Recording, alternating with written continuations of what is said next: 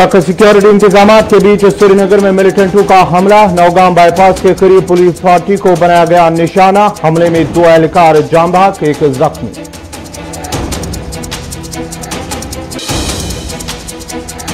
IGP Kashmir ने हमले पर दिया बयान। कहा, देश के मिलिटेंटों ने पुलिस पार्टी को बनाया निशाना। श्रीनगर में देश के मिलिटेंट सरगर्म।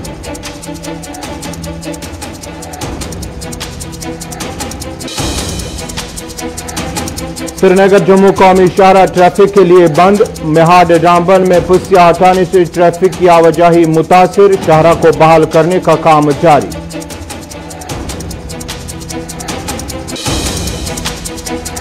और मुतद अरब इमारात और इसराइल के दरमियान तारीखी अमन माहदा तय महादेश मशरक वस्ती में अमन को मिलेगा फरूख। अमरीकी सदर डोनाल्ड ट्रंप ने सालसी का किरदार किया अदा।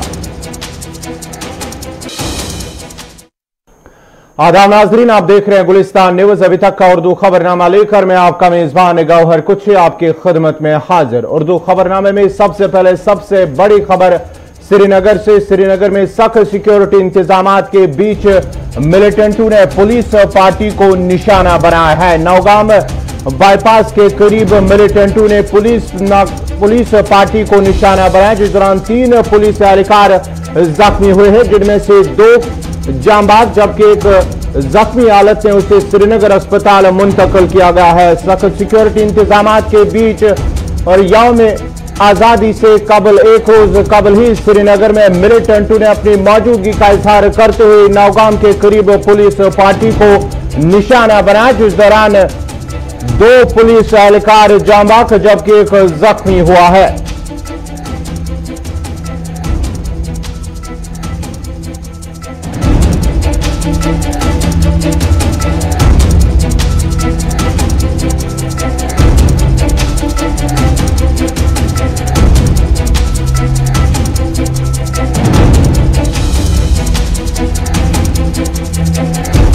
श्रीनगर से बड़ी खबर, सख्त सिक्योरिटी इंतज़ाम के बीच मिलिटेंटों ने पुलिस पार्टी को निशाना बनाया। नौगाम, गुलशन चौक के करीब पुलिस एहलकारों को पर हमला किया, जिसके नतीजे में दो एहलकार जामाग जबकि एक जख्मी हुआ है। आईजीपी कश्मीर विजय कुमार ने भी जाए वारदात का मौका किया उन्होंने कहा कि जैश मोहम्मद नामी मिलिटेंट तंजीम इस हमले में मुलविस है। उन्होंने कहा कि देश के मिलिटेंटों ने पुलिस पार्टी को निशाना बनाया जिसके नतीजे में दो पुलिस एहलकार जांबाग जबकि एक जख्मी हुआ है।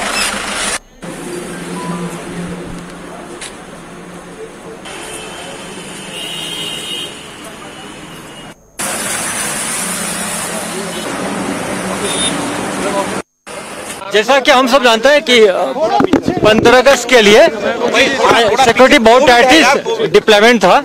आ, इस गली से गुलशन गली से आ, दो टेररिस्ट आए और आ, हमारे लड़कों को पीछे से अंधाधुन फायरिंग शुरू कर दिया जिसमें हमारे दो सिपाही शहीद हो गए एक जख्मी हुए हम लोग पूरे एरिया को कोडन कर लिए हैं और इसमें जैश मोहम्मद का हाथ लगता है प्राइमरी से और इसको हम लोग आइडेंटिफाई कर रहे हैं। कोडन चल रहा है चल रहा है, देखते हैं। हाँ बिल्कुल था, हर एक छब्बीस जनवरी पंद्रह अगस्त के पहले, ऐसा इनपुट आते रहता। है इसका भी इनपुट था कि किसी भी एरिया में स्ट्राइक कर सकता है। तो लड़के हमारे अलर्ट थे। आप जैसा देखे उनके बीपी जैकेट पटका भी पहने थे, पूरा मुफ्ते था। लेकिन पीछे से छिप के आ गया और फायर किया, जिससे हमारे दो लड़के शहीद हो गए। लेकिन हम लोग इसको आइडेंटिफाई कर लिए हैं, कौन है? जैस मोहम्मद ग्रुप का है, और बहुत जल्दी न्यूट्रलाइज कर लेंगे। लूप फोल्स नहीं लूप फोल नहीं, आप देखें, गली कितना नेरो है, इसमें सिविल के मूवमेंट होते रहता है। तो ऐसा नहीं कि आइसोलेट पेड़ था कि यह इसमें सिविलियन मूवमेंट होते रहता है तो इसको लूप फोल नहीं कर सकते। हरदम हर एक साल चैलेंजिंग रहता है। हालाँकि कश्मीर में हर डेली चैलेंजिंग जो पुलिस के रहता है। कल भी आप लोग कहते पूरी हम लोग तैयारी कर चुके हैं। यह हादसा हो गया अनफॉर्चुनेट हो गया। इसमें चूँकि भीड़ से लोगों का मूवमेंट था तो हमारे जवान अगर रिटेलेट करते अंधाधुन तो सिविलियन का लॉस हो सकता था। इसलिए हमारे लड़कों ने बहुत रेस्टेंट किया।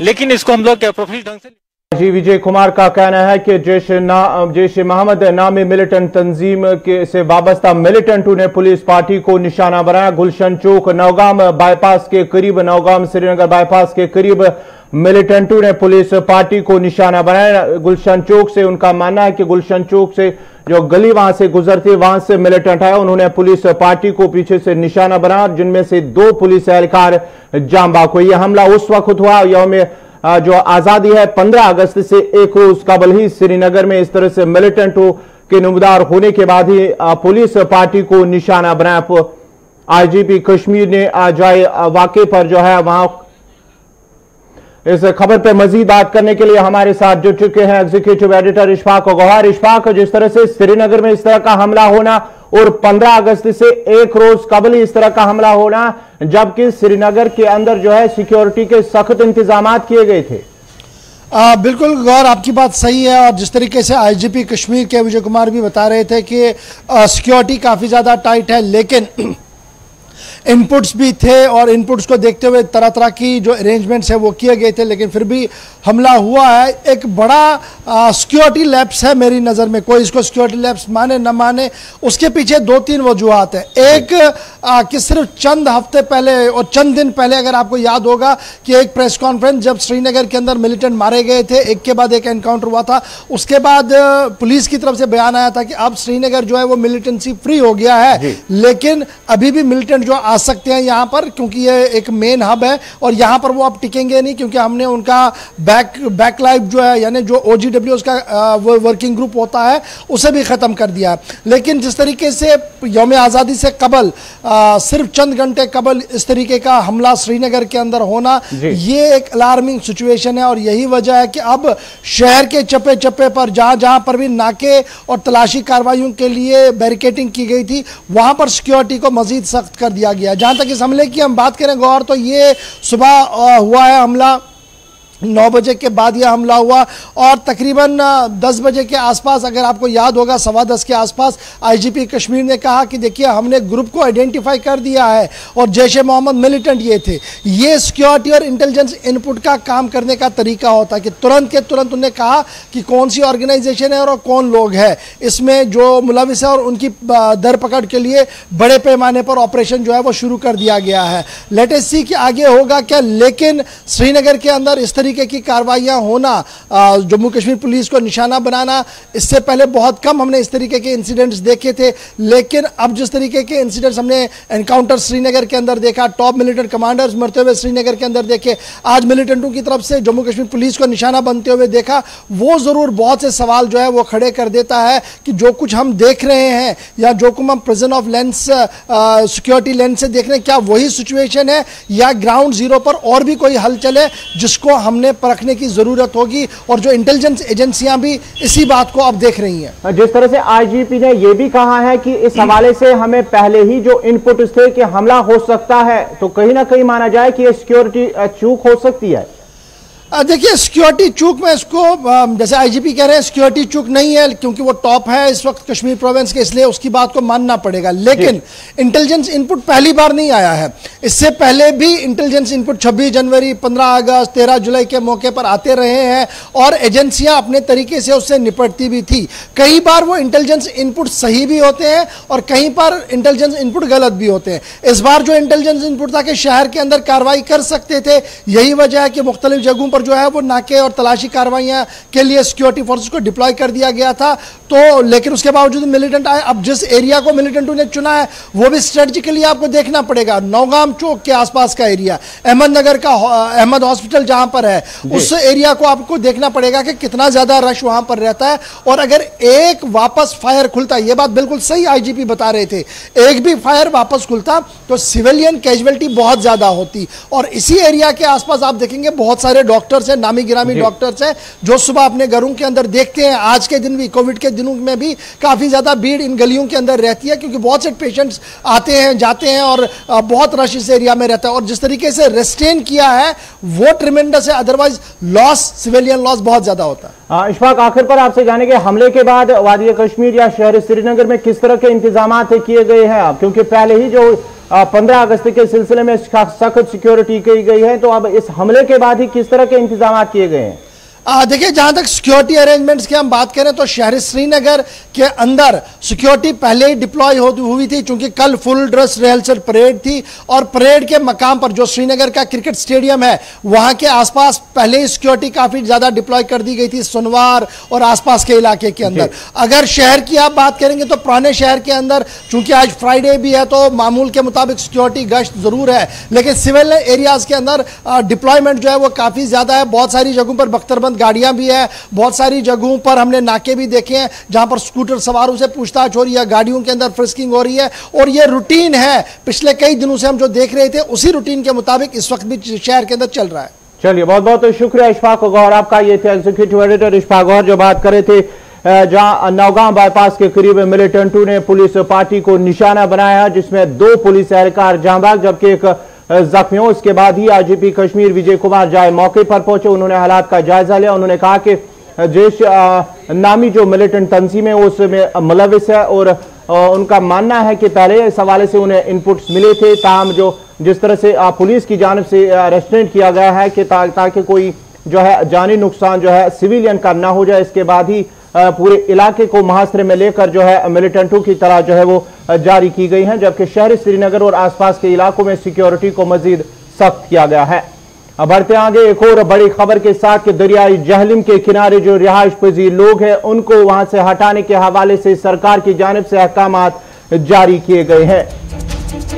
खनबल से खादिमियार तक सरकार की तरफ़ से नोटिस जारी, दरियाई जहलिम के किनारे रिहायश पजीर लोगों में इस तरह भी क्या हुकूमत की तरफ़ से रिहायशी मकानों को खाली करने के अहकाम जारी किए गए हैं, जिसके साथ ही सियासी जमातों की तरफ़ से, सियासी लीडरान की तरफ़ से इंतज़ाम की जानब से जारी किए गए अहकाम को इस पर उन्होंने सख्त नोटिस के हवाले से उन्होंने कहा कि इस तरह की कार्रवाई से जो है लोगों के हवाले से उन्हें मुश्किल का सामना करना पड़ सकता है। कि बड़ी खबर जम्मू कश्मीर के हवाले से खासतौर पर जहाँ दरियाई जालिम के किनारे रिहायश पजीर लोग हैं, उन्हें इंतज़ाम की जानब से नोट से जारी की गई है।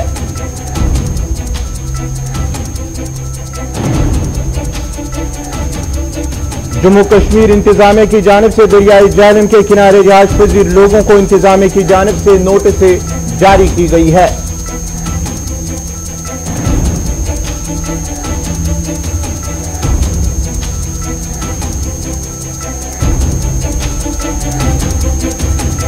कश्मीर के हवाले से खासकर वादी कश्मीर के हवाले से एक बड़ी खबर के दरियाई जहलम के किनारे रिहायश पजीर।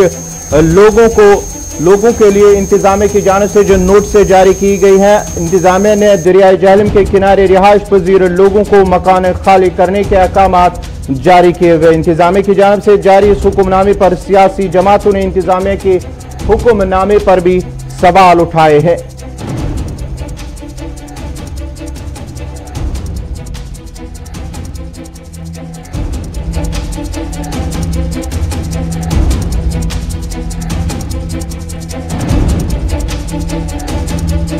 के किनारे रिहायश पजीर लोगों को इंतजामिया की जानब से नोटिस जारी।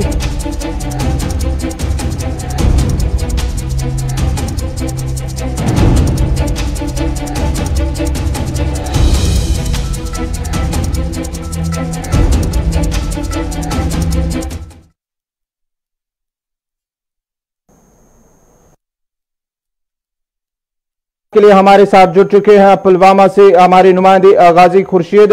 खुर्शीद क्या कुछ हवा, इस हवाले से जो तफसात फराम की जा रही हैं कि जो दरियाए जहलिम के किनारे रिहायश पजीर लोग हैं इंतजामिया की जानब से उन्हें जो नोट से जारी की गई है कि वो जल्दी से जल्दी वो जगह जो उनकी रिहायशी मकाना थे उन्हें खाली करा जाए। बात करूँ पुलवामा संगम से स्टार्ट होता है संगम से लेके बिल्कुल पांद्रेठन पाँच चौक चौक तक पाता चौक तक। तो अभी मैं यहाँ पे दरियाई जहलिम के किनारे पे कुछ लोगों से बात कर रहा हूँ तो उन्होंने मुझे ये साफ़ कहा कि 2014 में जब सैलाब आया था तो उसी दिन उसी साल हमें यहाँ पे नोट से डाली गई थी क्या आप ये जो जहलिम के किनारे पे जो लोग आबाद थे जो डोकू में रहते थे जिन्होंने कुछ मकान भी कच्चे बनाए थे तो उनको उसी साल खाली करवाया गया था और उन्होंने इवेक्यूएट किया था यहाँ से। तो उनको अगरचे वो रिहाइश के लिए कोई जगह मुकर नहीं की गई तो उनमें से मैंने कुछ लोगों से बात की तो वो कुछ किराया के मकानों में अभी रह रहे हैं और जहाँ पे मैं अभी खड़ा हूँ इसे करनाबल ये जो काकपोरा सोमबुरा है यहाँ से तो ऐसा कुछ देखने को, को नहीं मिला है। अलबत्ता कुछ दरसगाहें यहाँ पे बनी हुई है या मस्जिदों के लिए कुछ डोके भी खड़ा किए गए हैं और लोग भी मेरे सामने बहुत सारे हैं। मैंने इनसे बात की तो उन्होंने साफ़ इनकार किया कि हाँ नोट से तो पड़ी है लेकिन हम इंतजामिया से ये अपील कर रहे हैं कि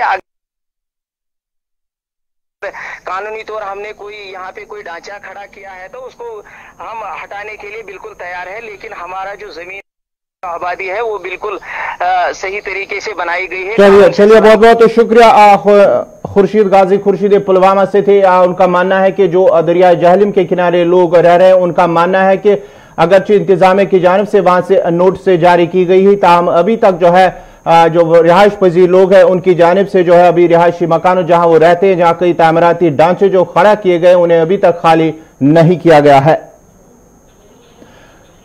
मजीद बात करने के लिए शुमाली कश्मीर के अब बांडीपोरा से हमारे साथ जुड़ चुके हैं जहूर अहमद। जहूर, इस हवाले से क्या कुछ ताज़ा अपडेट है? क्या वहाँ से भी जो है दरियाई जहलम के किनारे जो रिहायश पजीर लोग हैं, जो तैमराती ढांचे वहाँ पर खड़े किए गए हैं, वहाँ से भी जो है इंतजामे की जानब से नोट से जारी की गई है।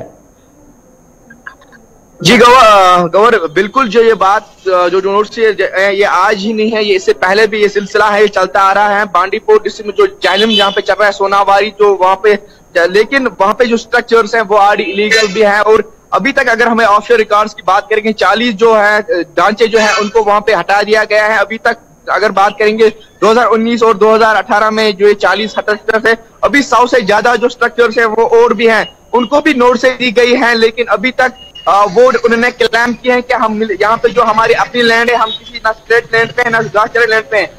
लेकिन यहाँ पे आला में जो इरिगेशन एंड फ्लड कंट्रोल से हमने बात की, उन्होंने कहा कि हमने डिप्टी कमिश्नर बांडी को कई बार लिखा है कि इनको कहीं और जगह शिफ्ट किया जाए ताकि हम जो एम्बैकमेंट अब जालिम है, जो फ्लड यहाँ पे थ्रेट रहता है, हम ये खाली करेंगे। लेकिन अभी तक जो एडमिनिस्ट्रेशन से हमें कोई भी सहयोग नहीं मिला है जो स्ट्रक्चर्स हैं वो वही हैं और भी कुछ इलेगल स्ट्रक्चर्स हैं उनको भी हमने नोट से जारी किए हैं और उनको हटाने की कोशिश कर रहे हैं हम। ज़रूर जरा ये बताएगा कि इन नोटिसों के बाद जो नोट से जारी की गई है आपने इनके जो रिहायश पजी लोग हैं वहाँ पर जो दरिया जहलम के किनारे रिहायश पजी लोग हैं उनके साथ बात की है उनका क्या कुछ कहना है इस हवाले से? कर उन वो तो सहमत है वो बोल रहे हम अपनी लैंड पे हम किसी गवर्नमेंट लैंड पे नहीं है जो कई स्ट्रक्चर्स हैं बाकी जो इलीगल स्ट्रक्चर्स कुछ कुछ बीच बीच में हैं तो उनको आरडी जो एफआईआर भी किए गए हैं और उनको एडमिनिस्ट्रेशन एश्योरेंस भी मिले हैं कि उनको हटा दी जाएगा। लेकिन जो अपनी लैंड पे हैं, वो हम कहते हैं कि हम यहाँ से हट जाएँगे, लेकिन हमें गवर्नमेंट पहले कोई इंतज़ाम करे, हमारे लिए कोई रेजिडेंशियल कॉलोनी बनाए, जहाँ पे हम रह रह सके तो हम फिर अपने जो ये मकान है खाली करेंगे। लेकिन अभी तक जो डिस्ट्रिक्ट एडमिनिस्ट्रेशन से ऐसे कोई जो लेटर या कोई ऑर्डर सामने नहीं आया है, लेकिन यहाँ से लिखा गया है एजुकेशन फ्लड कंट्रोल की तरफ़ से, लेकिन अभी तक वहाँ पे कोई जो माकूल जवाब है, वहाँ से नहीं मिल रहा है। जी गवर चलिए बहुत बहुत शुक्रिया जहूर अहमद, आपका ये थे बांडीपुरा से जहूर अहमद, जो बात कर थे, जहाँ इंतज़ाम की जानब से दरिया जहलम के किनारे जो है रिहायश पजीर लोग है उन्हें नोट से जारी की गई है कि वो जल्द अज जल्द जो है रिहायश जो मकान है, उनके उन्हें खाली कराया जाए। अब एक और बड़ी खबर, जम्मू कश्मीर के हवाले से, जम्मू कश्मीर में ज़मीन माफिया जो है, वो काफ़ी सरगर्मी और सयाती मकाम गुलमर्ग में डेवलपमेंट अथॉरिटी की तरफ़ से जंगलात की ज़मीन पर लगाए गए बोर्डों को हटाया गया। ज़मीन माफिया की तरफ़ से जो है, वहाँ पर उन्हें हटाया गया है। Development authority, Gulmarg development authority की जानब से अगर वहाँ पर जंगलात की जो अराजी है, ज़मीन है, उन पर वह बोर्ड लगाए गए हैं। वहाँ पर जो ममनुआ करार दिया गया है तो ताम चंद लोगों की जानब से जो असर रसूख रखने वाले लोग हैं, उनकी जानब से उन बोर्डों को हटाया गया है। एक बार फिर जो है सयाती मकाम गुलमर्ग में माजी के, माजी की अगर हम बात करेंगे तो इससे कबल भी वहाँ पर जो है गैर कानूनी तामीराती ढांचों को जो है कायम करने के हवाले से वहाँ पे जो जो खबरें आई थी, और इस बार एक बार फिर जो है खबर आई कि सयाती मकाम गुलमर्ग में जो है इस खबर पर मजीद बात करने के लिए हमारे साथ जुड़ चुके हैं सीनियर साथी साहिल अमीन। साहिल, एक बार फिर जो है गुलमर्ग से बड़ी खबर आ रही है कि वहाँ पर जो जंगलाती ज़मीन है, नाजायज कब्जा करने की कोशिशें की जा रही है ज़मीन माफिया की तरफ़ से।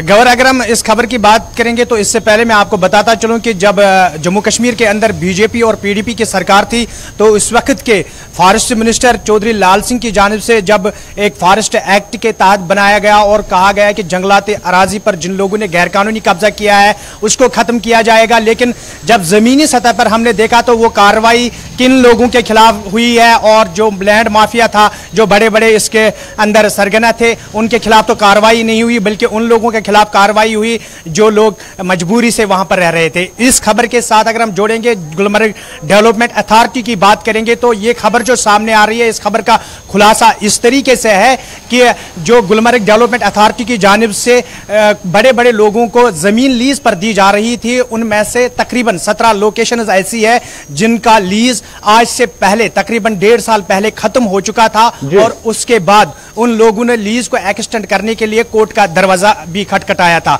इसमें बड़ी और महत्वपूर्ण बात यह है कि जी जीडीए की जानब से अब तक उन लोगों के खिलाफ कोई कार्रवाई अमल में नहीं लाई, ना ही कोई इकदाम उठाया गया। जब कोर्ट ने जीडीए को जवाबदेह बनाने की कोशिश की और एक हुक्मनामा जारी हुआ, जिसमें जीडीए को कहा गया है कि वो अपनी ज़मीन, जो गुलमर्ग के अंदर उनके मातहत ज़मीन आ रही है, जो उनका अपना ज़मीन है, उसकी लोकेशन कोर्ट के सामने रखे और उसको डिस्क्लोज करे। तब जाकर गुलमर्ग डेवलपमेंट अथॉरिटी को याद आया कि अब कोर्ट के सामने पेश होना है तो उन्होंने सत्रह लोकेशन ऐसी निकाली हैं जिनका लीज आज से बहुत पहले खत्म हुआ है और वहाँ पर उन्होंने साइन बोर्ड लगा दिए। और साइन बोर्ड जहाँ जहाँ पर उन्होंने लगाए हैं, वो ज़मीन जिन लोगों के पास लीज पर है, वो बहुत बड़े बिज़नेस टाइकॉन है और उन्होंने रातों रात इन साइन बोर्ड को उखाड़ कर फेंका ताकि उनके नाम मंजर आम पर ना आए। एक तरफ़ से जहाँ बड़े बड़े और मारूफ ताजर जो है, वादी के माने जाने माने माने जाते हैं, उनका नाम इसमें आता है और इन सत्रह लोकेशन पर जिन पे जीडीए की जानब से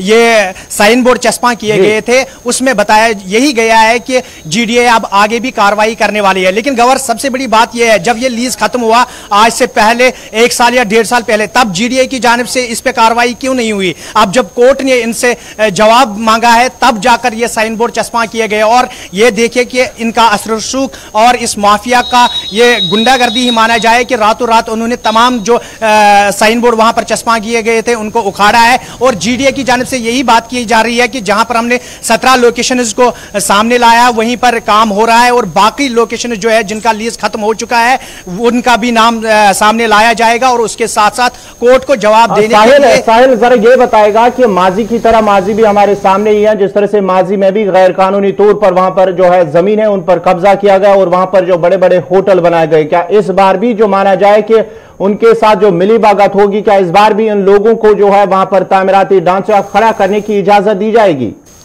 बिल्कुल गवर, इसकी अगर हम बात करेंगे, इस खबर को थोड़ा सा हट कर लेंगे, क्योंकि जीडीए के जो आला अधिकारी हैं, उनसे जो हमारी बात हुई है, उनका मानना है कि इन लोगों के पास लीज पर पहले ही ये ज़मीन थी, लेकिन लीज जो है, वो काफ़ी साल पहले खत्म हो चुका है। उसमें कहीं ना कहीं मिली वक्त तो कही जाएगी, क्योंकि जब तक कोर्ट ने जीडीए के खिलाफ हुक्मनामा जारी नहीं किया, तब तक जीडीए ने कोई कार्रवाई नहीं की। इन लोगों के खिलाफ कि आपका लीज खत्म हुआ है, आप एक्सटेंड करिए। अब जब इन लोगों ने कोर्ट का दरवाज़ा खटखटाया और कोर्ट के सामने बताया कि हमारा लीज जो है, पाँच अगस्त से पहले इन्होंने कोर्ट जाकर यह बात कही है कि लीज को एक्सटेंड किया जाए। उसके बाद जब कोर्ट ने जीडीए के नाम हुक्मनामा जारी किया, तब जाकर जीडीए ने यह कार्रवाई शुरू की। लेकिन ऐसा लग रहा है, जिस तरीके से उन्होंने साइन बोर्ड चस्पा किए थे, उसके बाद इन लोगों ने उनको उखाड़ा है। कहीं ना कहीं इसके अंदर भी वही बातें सामने आएगी, जो माजी में हमने देखा है कि कार्रवाई के नाम पर बहुत सारे दावे किए गए, लेकिन जमीनी सतह पर कार्रवाई जो करनी थी, उस पर पर्दा ही डाला जा रहा है। चलिए बहुत बहुत शुक्रिया। साहिल अमीन, आपका ये थे साहिल अमीन जो बात कर रहे थे जहाँ सयाती मकाम गुलमर्ग में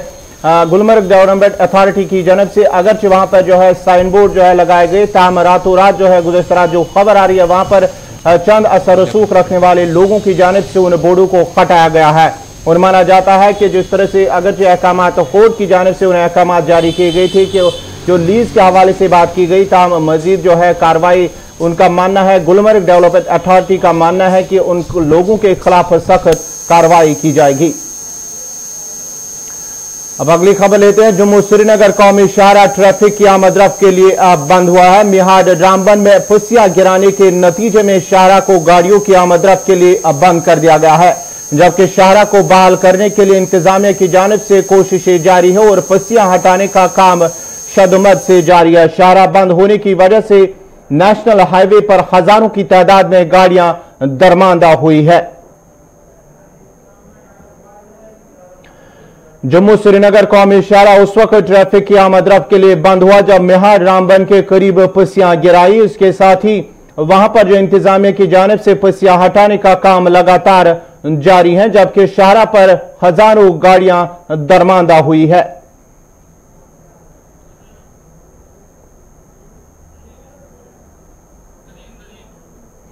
मजीद तफसीत के लिए सीधा रामबन चलते जो हमारे साथ जुड़ चुके हैं, नदीम इकबाल है। नदीम में क्या कुछ ताज़ा अपडेट है? एक बार फिर जो मेहार रामबन में पसियाँ गिराए, कितना वक्त लग सकता है शाहरा को बहाल करने में?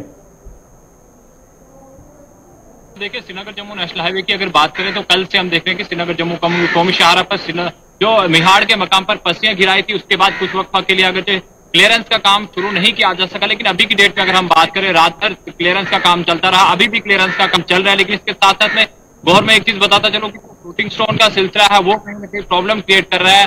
रोड क्लियरेंस में अभी भी इंतज़ाम की भरपूर कोशिश है कि जल्द से जल्द पसियाँ हटाकर गाड़ियों की आमदरफ को बहाल किया जाए। लेकिन इसके साथ साथ जब हम देख रहे हैं कि श्रीनगर जम्मू कौमी शाहरा पर क्लियरेंस का काम तो स्टार्ट है लेकिन इसके साथ साथ पसियाँ गिरने जो पत्थर गिरने का सिलसिला है वो कहीं ना कहीं क्लियरेंस में प्रॉब्लम क्रिएट कर रहा है। अगर अथॉरिटीज की बात करें तो अथॉरिटीज का ये मानना है कि हमारी तरफ़ तो, तो कोशिश है कि जल्द से जल्द हटाकर गाड़ियों की आमदरफ को बहाल किया जाए लेकिन चलिए, बहुत बहुत शुक्रिया नदीम इकबाल। आपका ये थे रामन से नदीम इकबाल जो तफसात फराम कर थे। अभी भी जो है वहाँ पर शहरा बंद है। पसिया हटाने का काम इंतजामिया की जानब से जो है शदमत से जारी है। इधर जम्मू पठानकोट नेशनल हाईवे पर गुजशत शब उस वक्त ट्रैफ़िक की आमद रफ्त मुतासर हुई, जब कठुआ के लोगों ने इंतजामिया के खिलाफ एहतजाज किया। इस मौके पर एहतजाजी लोगों का कहना था कि नेशनल हाईवे पर ड्रेनेज सिस्टम के नाकारा होने की वजह से बारिशों का पानी न सिर्फ़ सड़कों पर जमा हुआ, बल्कि झील जैसा नज़ारा पेश कर रही है। जबकि साथ ही साथ पानी जमा होने की वजह से यह जो बारिशों का पानी उनके घरों के अंदर दाखिल हुआ, जिसकी वजह से रिहायशी मकानों को गिरने का खतरा लाक हुआ है। उन्होंने इंतजामिया से अपील की है कि नेशनल हाईवे पर ड्रेनेज सिस्टम की मरम्मत की जाए, ताकि आने वाले वक्त में इस तरह की सूरत हाल पैदा न हो।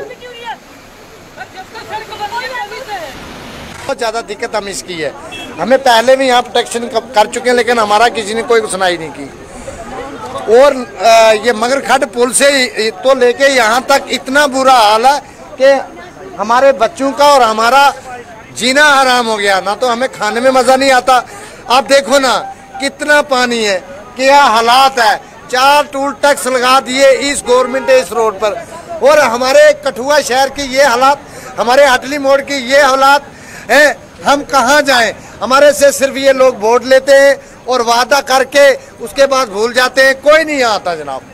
मेहरबानी जनाब आपके मीडिया के माध्यम से हमारी मैसेज डीसी साहब को भी पहुँचे गवर्नर साहब को भी पहुँचे हमारे यही रुका पानी, पानी जम जाता है नेशनल हाईवे पे तो लोगों को कितना की प्रॉब्लम होती है? बहुत ज़्यादा प्रॉब्लम साहब आपके सामने ये जनता के सामने आप भी देख रहे हैं, कितनी प्रॉब्लम है। सर पिछले तीन हफ़्ते से डीसी ऑफ़िस म्यूनसिपैलिटी एसएसपी साहब को मिले, हर जगह हर जगह, हर ऑफ़िस में हमने चक्कर लगाया, बोला कि ये प्रॉब्लम जेन्यून है, कोई मज़ाक नहीं चल रहा आपके घर में पानी नहीं आ रहा, हमारे घर में आ रहा। आज पानी आया, हमारे पास जगह नहीं बैठने की आज हम इधर आ गए। इस रोड पे तीन टोल प्लाजे हैं, तीन। वो टोल प्लाजों का जो पैसा है, वो कौन खा रहा है? अगर वो टोल पैसों का टोल प्लाजा का पैसा अगर यूज़ किया जाए तो ये ये हमारे नाले की प्रॉब्लम नहीं आएगी। हम तीन हफ़्ते दो तरह से स्ट्रगल चल रहा है। ये सुन ही नहीं रहे। ऊपर नरेश शर्मा कहते हैं ये नया वार्ड है। जितनी तेरी उम्र है ना उससे ज़्यादा हमारे यहाँ पे बुज़ुर्ग यहाँ पे रहते हैं। इसी के साथ ही अभी तक